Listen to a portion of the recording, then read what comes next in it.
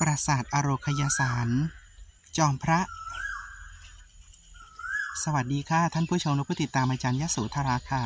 นำบรรยากาศความสวยงามของศาสนสถานโบราณสถาน แห่งนี้มาให้ทุกคนได้ชื่นชมนะคะ นี่คือบรรยากาศของอโรคยสาร ปราสาทจอมพระนะคะ มีบรรยากาศที่เป็นมนต์ขลังและก็สวยงามมากเลยค่ะท่านผู้ชม ด้านนอกที่มีหินตั้งเรียงรายกันอยู่นี้ เพื่อที่จะเก็บ จัดการเข้ามาบูรณปฏิสังขรณ์ให้เกิดความสมบูรณ์มากยิ่งขึ้น